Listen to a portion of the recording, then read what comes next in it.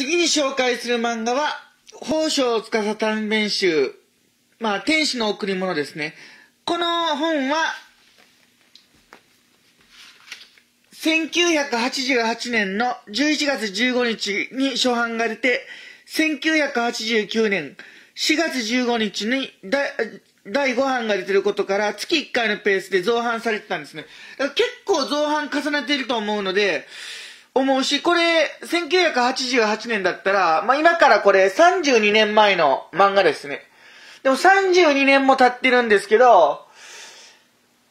ま、さすがに、あの、ゲオとかの古本屋で見つけるのはちょっと難しいですけど、個人の古本屋回れば結構見つかりますね、まだ。だいたい100円で売ってます。ただこれ、100円ですが、100円以上に面白いです。まあ、これは自信持って言い切れます。まあ、あの、ま、あの、ま、キャッツアイとか、シティハンターとか、エンジェルハートとか、ファミリーコンポとか、結構たくさんのヒット曲出して、あ、あ、ヒット作を出しているので、まあ、知ってる人も多いと思いますけど、まあ、この雑誌は 短編集で、まあ、こんな感じですね。短編集で。まずは、最初に天使の贈り物。88年の34号に掲載されたやつですね。なんですけど、まあ、これはあの、単純に、あの、なんか、あの、幼馴染の大学生の、あの、カップルの子供が、あの未来からタイムスリップ来て、なんかお互い、お互いにひっつけるっていう話ですね。で、その次は、俺は男だっていう、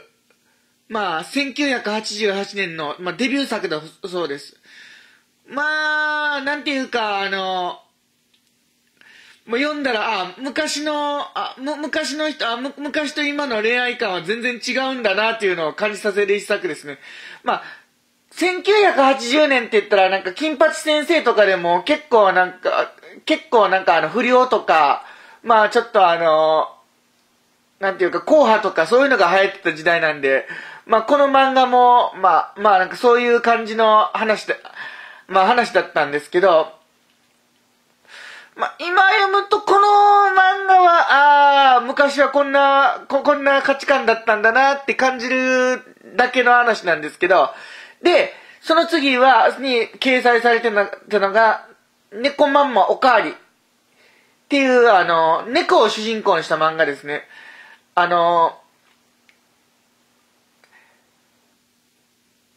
人間に助けられたああのメスの猫がなんかもう美人な女性に人間あ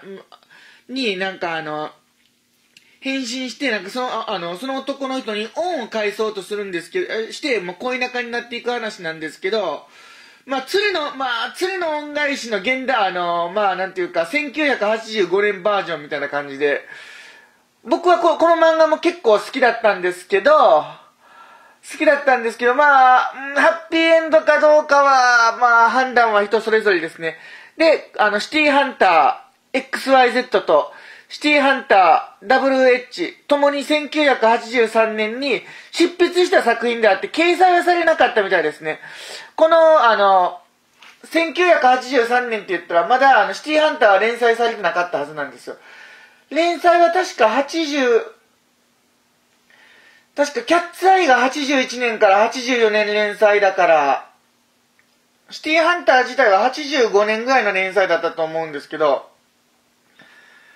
まあ、あの、それにつけても、まあ、それなりに、まあ、面白い漫画ですね。まあ、それぞれちょっと表紙を見ていきますね。まずは、天使の贈り物。まあ、こんな感じですね。88年にしては相当絵が綺麗ですね。そして次に、俺は男だ。まあ、デビュー作なんで、まあ、絵柄的にはもうキャッツアイに近い絵柄ですね。まあ、キャッツアイのちょうど1年前の作品なんで。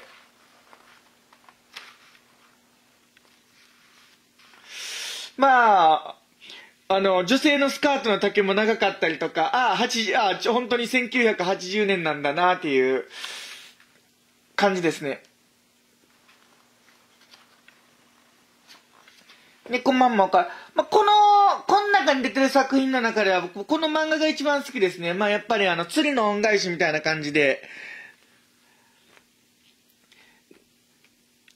まあでもこうやって見ると1985年も結構なんか進んでたんだなっていう感じはしますけど。そして1983年に書かれたシティハンター。この頃になるともう本当綺麗な絵描きますね。なんか結構あの、このぐらいから画集とかちょっと出してたんじゃないですかね。シティハンターって言ったら結構あの、画集とか出て絵も綺麗、あ、綺麗な絵も多いので。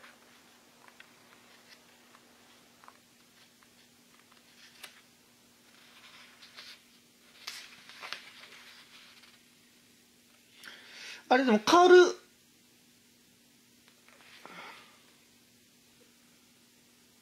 カールみたいなパートナーすでに出たんですね。